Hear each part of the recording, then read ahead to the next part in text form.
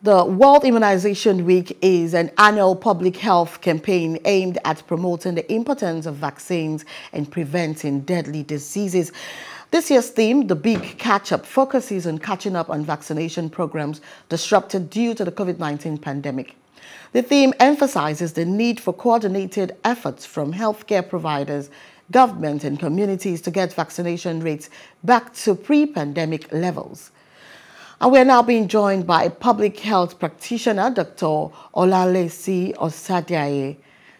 Good morning, Doctor. Morning, how are you? Fine, thank you. I hope I have not murdered your name. Uh, uh I won't um, say too much about that, but it's fine. It's fine. So All right, thank you so much. Um, um, away from that, let's quickly go into um, the questions. I, I, want I want you to tell us the ultimate goal of uh, World Immunization Week um, it, it's more for children. Is it, is it, is it more for children and adults and their communities to be protected from vaccine or preventable diseases or allowing them to live happier and healthier lives? How are we doing in this regard here in Nigeria? Can you expand on this a little bit? Okay, so thank you very much for having me on the studio, number one. Number two, World Immunization Week has basically been targeted to, for children because most of our immunization schedule is targeted towards children. We've noticed that um, with um, COVID, a lot of our immunization rates have dropped. And it's not only in Nigeria, it was globally, generally, but definitely worse in some countries, Nigeria inclusive.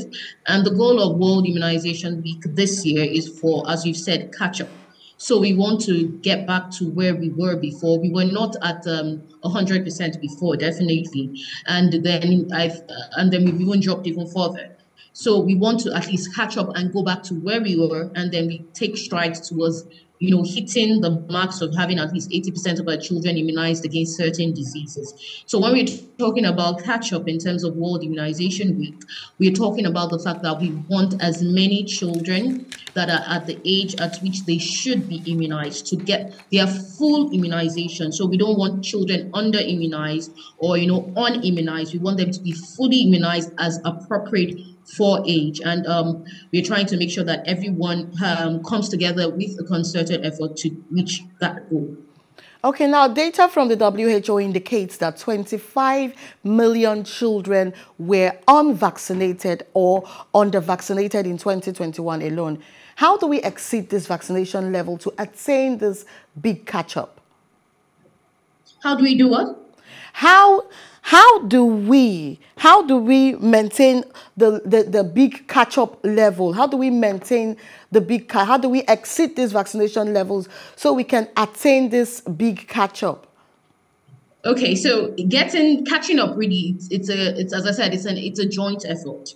So it's a joint effort of the government and the people, and that's part of why we will come and you know give a lot of information. Now we need people to understand the importance of immunization. We need people we need mothers we need families we need head of head of communities to understand the fact that number one getting your child immunized immunized rather is safe and it is beneficial for the child and for the community so regularly we know we get um, updates on, you know, like, for example, I'm sure a lot of people have seen them come to give their children, let's say polio. Polio is one of the most common things. And they're walking on the streets, they go to schools, they go to so many places. I know a couple of years, um, I think last year or two years ago, we did something on catch up on measles. So we went to schools. So a lot of these things are done to actually bridge the gap.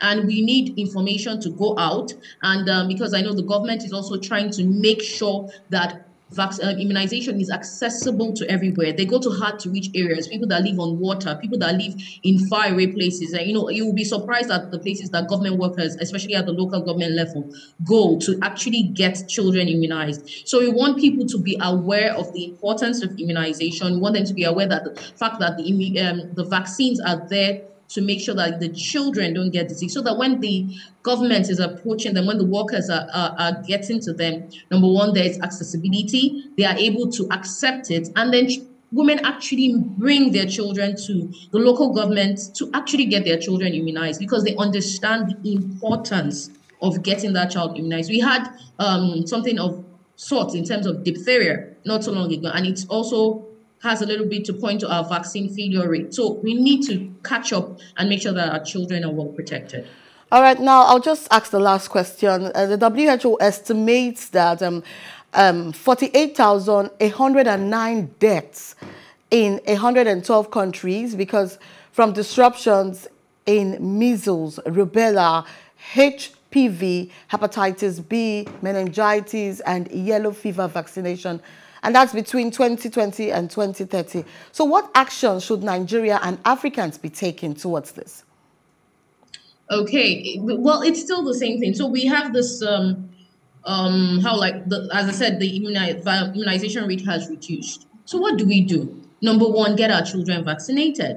We, we we speak to a lot of mothers in the hospital and we say, okay, why did your child miss this dose? Oh, I was busy. Oh, I, I couldn't make it, and then you forgot about it. Or we ask a mother that her child has not been immunized at all. Why didn't you bring your child for immunization? And she goes, um, no reason. So I think part of the things are that the people that have maybe due to COVID or due to whatever the pandemic, they actually had a break. They couldn't get to the hospitals and um, they couldn't get their children immunized. They should please and please take their children back to the hospital so where we can give the appropriate vaccinations and the immunization status can be up to date. Remember that when you immunize a child, you're not only immunizing the child, you're protecting the community as a whole. So we need people once they the, the children are born, especially for those that are within the, the age zero to five, get your child to the hospital at the appropriate times, at the appointments due. The local governments are always available. Every primary healthcare center across the country is available to get people, um, children immunized appropriately for age. So we want people to go out there. And when we come to you, because we know sometimes we have to come, and when the health workers come to you, please give them room to get your child vaccinated. I think okay. in that way we'll be able to catch up and everybody can be able to go together. Thank you. Okay, thank you so much, Doctor. You've actually given us an expose of what you know we should be expecting during times of immunization. Thank you for joining us. Have a great thank day. Thank you. Hello. Hope you enjoyed the news. Please do subscribe to our YouTube channel and don't forget to hit the notification button so you get notified about fresh news updates.